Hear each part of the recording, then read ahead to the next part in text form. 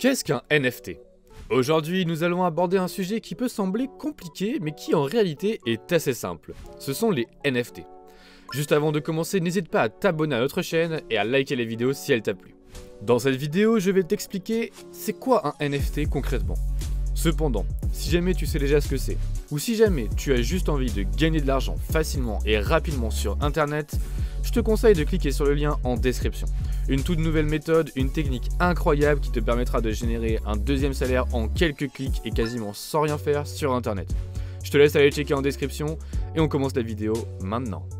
On a tous dernièrement entendu parler de NFT. Mais concrètement, qu'est-ce que c'est un NFT alors un NFT c'est un actif, et comme pour tous les actifs, l'offre et la demande sont les principaux moteurs du marché en matière de prix. En raison de la rareté des NFT et de la forte demande des joueurs, les collectionneurs et les investisseurs sont des gens qui sont souvent prêts à payer beaucoup d'argent pour les acquérir. Certains NFT ont également le potentiel de rapporter beaucoup d'argent à leurs propriétaires. Mais alors, c'est quoi concrètement un NFT Un Non-Fungible Token, un jeton non fongible ou NFT. C'est un jeton unique, 100% virtuel, qui est émis sur de la blockchain, majoritairement Ethereum et directement transférable entre deux personnes. Un NFT est différent des crypto-monnaies classiques comme le Bitcoin ou l'Ether. Les crypto-monnaies sont en effet fongibles, c'est-à-dire interchangeables. Un Bitcoin vaut un autre Bitcoin, alors que un NFT ne vaut pas un autre NFT. Vous me suivez? Il s'agit donc d'un actif unique qui ne peut pas être remplacé par quelque chose d'autre. Un NFT ne vaut pas un autre NFT, vous l'avez compris. Un jeton non fongible a en effet des propriétés uniques et montre certaines preuves d'authenticité et signature comme un identifiant unique, un créateur unique ou encore un contenu unique. Vous avez compris, les NFT sont uniques et ne sont pas mutuellement interchangeables, ce qui signifie qu'il n'y a pas deux NFT identiques. Pensez aux cartes Pokémon par exemple, une pièce de monnaie rare ou à une paire de Jordans en édition limitée. Les NFT créent de la rareté parmi des biens autrement disponibles à l'infini. Il y a même des certificats d'authenticité pour le prouver. Les NFT sont généralement utilisés pour acheter et vendre des œuvres d'art numériques qui peuvent prendre la forme de GIFs, de tweets, de cartes à collectionner virtuelles, d'images, d'objets physiques, de skins de jeux vidéo, de biens immobiliers virtuels, etc. Je suis sûr que vous y voyez déjà un peu plus clair et que vous comprenez comment tout cela fonctionne. C'est encore un peu flou? Laissez-moi vous donner quelques exemples d'utilisation des NFT et on verra ensuite comment gagner de l'argent grâce à ces derniers. Tout d'abord, les NFT d'art. Le monde de l'art et les objets de collection numérique semblent être l'une des utilisations les plus populaires des NFT, comme avec les cartes à collectionner NFT, NBA, Top Shot ou la vente d'œuvres d'art comme celle de Beeple ou de Artblock Crusade chez Christie's. Les NFT gaming. Autre secteur au corps de la révolution récente des NFT, le gaming. Il regroupe de nombreuses façons de profiter des tokens non fongibles. En effet, vous pouvez acheter des objets dans les jeux ou gérer des NFT immobiliers dans des métaverses par exemple.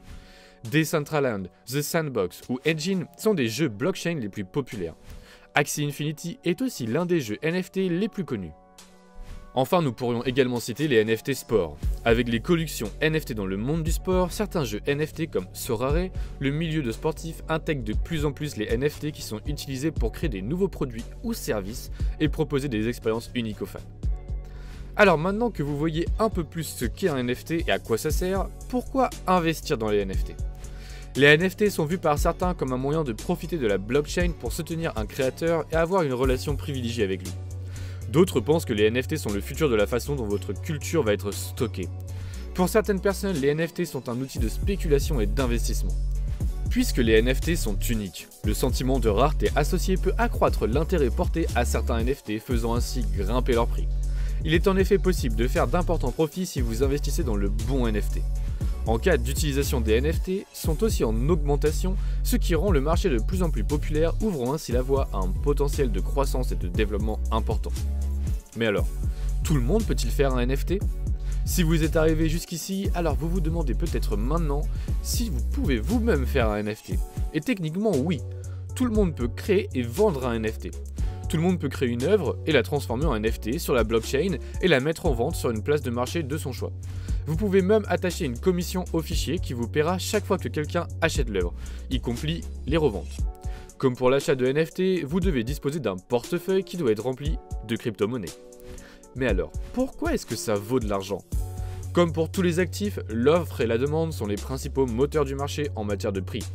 En raison de la rareté des NFT et de la forte demande des joueurs, des collectionneurs, des investisseurs et des gens sont souvent prêts à payer beaucoup d'argent pour les acquérir.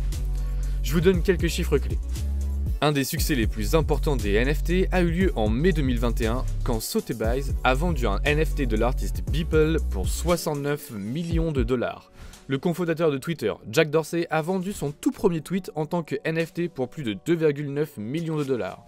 Le record de vente de NFT a été battu le 3 mai avec 102 millions de dollars de vente en une seule journée. Cependant, les chiffres ne doivent pas faire oublier la volatilité de ce phénomène. Le nombre moyen de vente de NFT a augmenté de près de 300% entre janvier et fin mai, mais cet engouement semble avoir décliné rapidement, les ventes ayant chuté de 90% au cours du mois de juin. De même, le nombre d'utilisateurs qui achètent et vendent des NFT a également diminué. Le système NFT a peut-être connu une baisse significative de l'activité, mais il est encore trop tôt pour proclamer sa mort car il s'agit peut-être seulement des prémices de cette tendance technologique.